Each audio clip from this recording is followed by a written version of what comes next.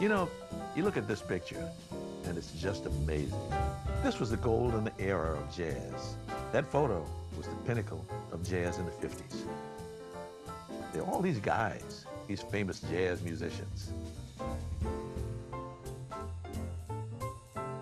Count Basie, Sonny Rollins, Horace Silver, Dizzy Gillespie, Gene Krupa, Gerry Mulligan, Lester Young, Charles Mingus.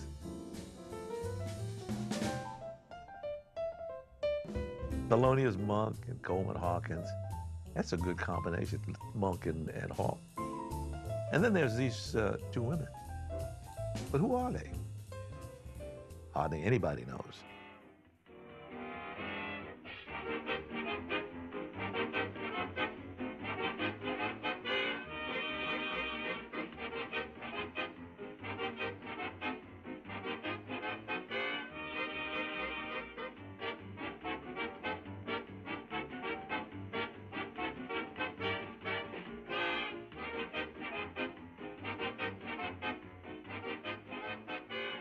There is nothing like the joy of playing music. My name is Clora Bryant. I'm a trumpetiste. Oh, yes, it's always, always a surprise to have girl musicians. I'm Viola Smith. I'm a drummer. There were no women with any of the big bands. I was the first one, as far as I know. My name is Billie Rogers, and I played the trumpet. I played with the greatest female band ever, ever. Hi, I'm Rosalind Cron, and I play alto sax, clarinet, and flute. Well, if you don't feel it, forget it, because you can't play jazz unless you feel it in here. My name is Peggy Gilbert, and I play saxophone.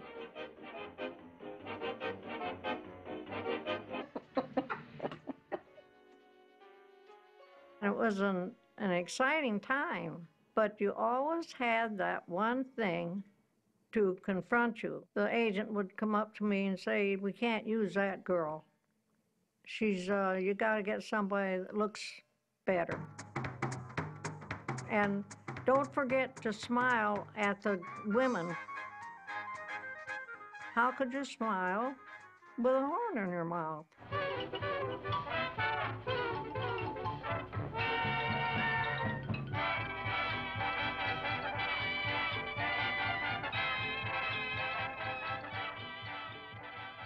I did get a call from the Ada Leonard Orchestra, which was rehearsing and going to open at the Oriental Theater in Chicago. And I said yes, yes, and I was so, so excited. After some rehearsals that week, we were shown our costume. And out comes this god awful pink thing with flounces, and, and it had all these flares and, and pink ruffles, and I was mortified. I'm a professional. I wear a skirt and a sweater or, or a blouse, a white blouse with a little black tie. I don't wear pink ruffles. And I, I hated that gown with a passion. Females were not looked on in the same with the same attitude, shall we use the word attitude, as male musicians were. Well, most of them treated us as novelties. It was unusual, and people thought it was cute, you know. On our first show, when the curtain went up, the audience went insane. They were clapping and stomping and carrying on and whistling. We hadn't really played much. We'd only played a couple of notes. And so after it died down and then an act came on, I sort of whispered to the girl next to me, why the big reception? And she told me, well, Ada was a striptease artist.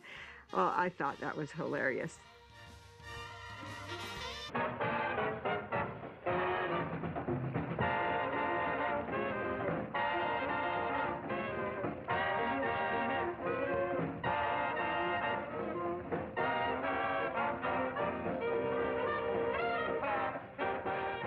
It was a lot of fun. The fun lasted until we started doing one nighters uh, in the South. Anna Mae mentioned something to the effect that we're going to Jim Crow country. I'd been in the South with Ada Leonard. Nobody had mentioned this man's name. And of course, I had never met him, so I guess I'm going to meet him now. And then I learned that Jim Crow is a set of laws that was set up to keep black people as far removed from whites as, as humanly possible. They wouldn't stand for us mixing. I was dying to get hold of a girl one time that was a trumpet player, and she was just great. And I wanted to put her in the band, you know. And they said, we can't do it because there are a lot of people that would object to a mixed racial band.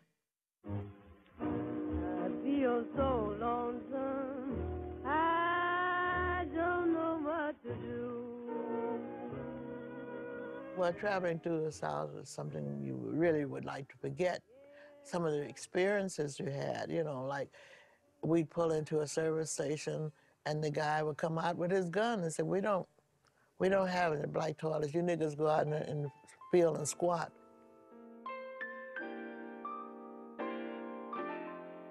The band had its own bus, upper and lower berths like a Pullman car.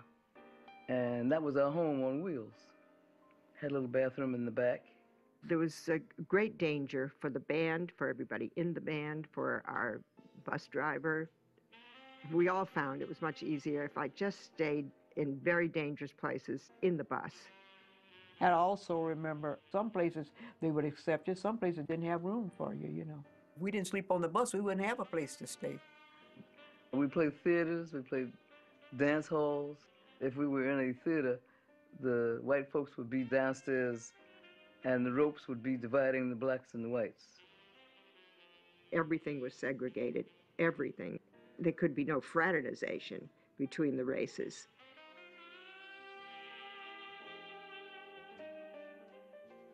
The problems of traveling in the South were the same for male bands as they were for female bands. But the women had it a lot rougher just because they were women. There were always a group of women who would open their homes to traveling musicians, and they were saints. There was never a question that I couldn't stay in their homes, even though it was putting them in grave danger, real jeopardy. There were times on bandstands when it became pretty tricky because I was right there in the front row playing alto. There was no way to hide my face. Well, in those days, there were a lot of bedroom integration.